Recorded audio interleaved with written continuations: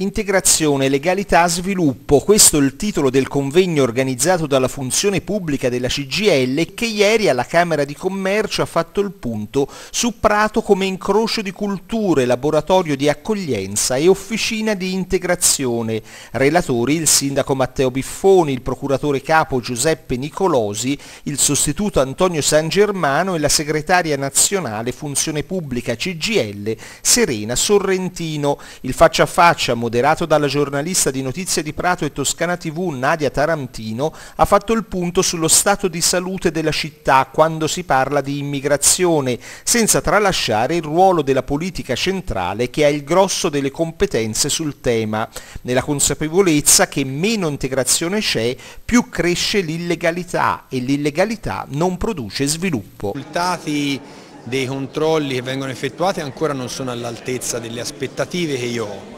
Capisco è un percorso lungo, un, percorso complicato, la speranza è che in questa sintonia entrino presto e nel numero più ampio possibile anche gli imprenditori, gli imprenditori in particolare di etnia cinese che in questo momento ancora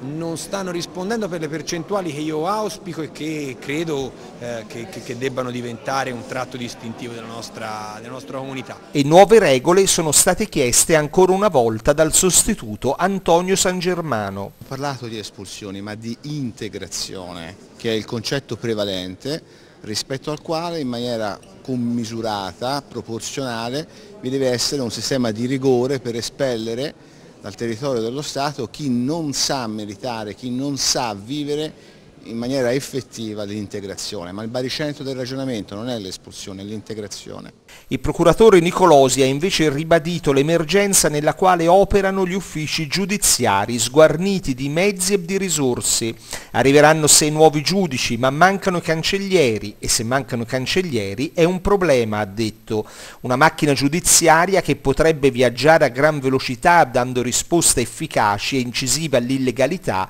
e invece va a scarto ridotto tutto. Serena Sorrentino su questo ha ricordato il recente confronto tra il sindacato e il ministro Orlando che sul piatto della giustizia ha messo 10 milioni, ma si dovrà capire a cosa nel concreto verranno destinati.